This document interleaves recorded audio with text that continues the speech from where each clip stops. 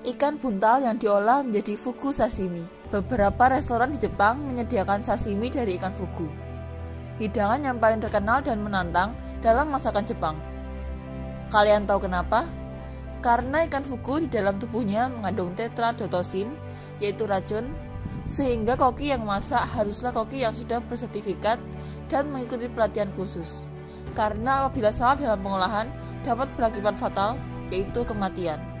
Bagian terenak dari ikan fugu ini adalah bagian hati, namun bagian ini juga paling beracun. Racun terdapat pada hati, ovarium, dan kulit ikan fugu. Berikut gejala apabila orang terkena racun dari ikan fugu ini. Dalam keadaan sadar, mereka tidak dapat berbicara ataupun bergerak.